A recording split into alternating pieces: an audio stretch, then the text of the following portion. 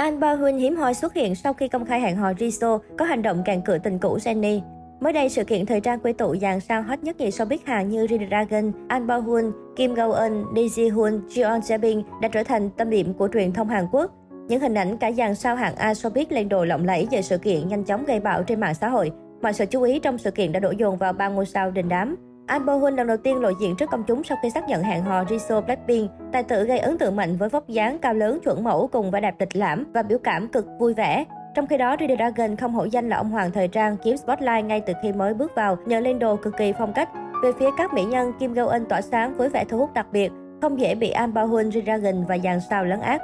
Red Dragon rất hiếm khi dự sự kiện công khai, nhưng đi lần nào là khiến dân tình phát sốt lần ấy. Ngay từ khi mới bước vào, trưởng nhóm Big Bang đã thu hút mọi ánh nhìn bằng phong cách thần thái độc nhất vô nhị. Không có lợi thế về chiều cao nhưng Redragon Dragon dễ dàng cân được mọi phong cách dù khó nhằn nhất. Nam idol xứng danh ông hoàng thời trang K-pop. Amber Hun nhận được sự chú ý không kém bởi đây là lần đầu tiên anh xuất hiện công khai sau khi xác nhận hẹn hò Jisoo Blackpink. Tài tử 35 tuổi từng làm người mẫu nên anh dễ dàng gây ấn tượng bằng vóc dáng cao lớn chuẩn chỉnh. Bạn trai Jisoo có vẻ điển trai ấm áp và lịch lãm cùng gương mặt nam tính ngũ quan hài hòa, tài tử tươi tắn rạng ngời trong khi công khai mối quan hệ với nữ thần nhan sắc đẹp nhất nhì K-pop. Netizen nhanh chóng xoa ra Amber Hun tạo dáng má trái tim đặc trưng của Jisoo.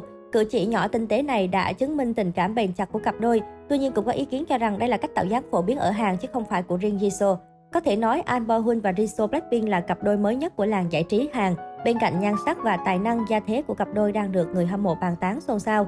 Với tư cách là một thành viên của nhóm nhạc nổi tiếng Blackpink, Jisoo luôn là một trong những chủ đề được công chúng quan tâm đặc biệt liên quan đến gia đình và xuất thân của cô. Jisoo sinh ngày 3 tháng 1 năm 1995 tại Gyeonggi và hiện là thành viên của nhóm nhạc K-pop toàn cầu Blackpink. Ngoài thành công trong lĩnh vực âm nhạc, cô còn tham gia diễn xuất, dẫn chương trình và là đại sứ cho nhiều thương hiệu thời trang nổi tiếng. Về gia đình, Jisoo là em út trong gia đình và được cha mẹ cùng anh chị nuôi dạy đặc biệt. Bố và mẹ của cô, ông Ha Jun Kim và bà Ji Ju Kim đều yêu thương quan tâm đến suy nghĩ, sức khỏe và mong muốn của con gái. Họ cũng hỗ trợ Riso trên con đường tương lai. Theo các nguồn tin Hàn Quốc, cha của Riso được cho là CEO công ty quản lý Mamamo hoặc giám đốc đài truyền hình nổi tiếng. Ông cũng là người truyền cảm hứng cho con gái trở thành ca sĩ. Nhiều thông tin khác cũng cho biết mẹ của Riso là một người phụ nữ có quyền lực trong giới kinh doanh.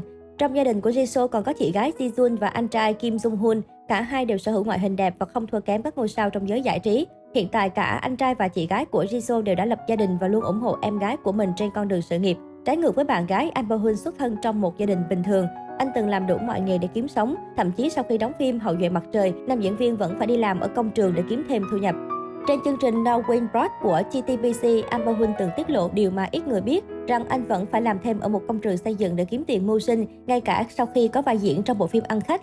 Không chỉ vậy, trong khi hoàn thành vai diễn trong bộ phim Hậu duệ mặt trời, nhiều bạn bè của Amber Hun ở Busan đã nghĩ rằng anh đã trở nên nổi tiếng như Song Song Ki. Nhưng ít ai biết rằng, ngay cả sau khi đóng vai diễn thành công như vậy, anh vẫn phải tiếp tục làm việc tại công trường xây dựng. Những chia sẻ của anh đã gây xôn xao khiến khán giả và người hâm mộ rất xúc động và đồng cảm với anh. Nhìn lại dù bắt đầu khó khăn và gian nan hơn nhiều người, Amber Hun vẫn cố gắng và nỗ lực để đạt được thành công như hiện tại.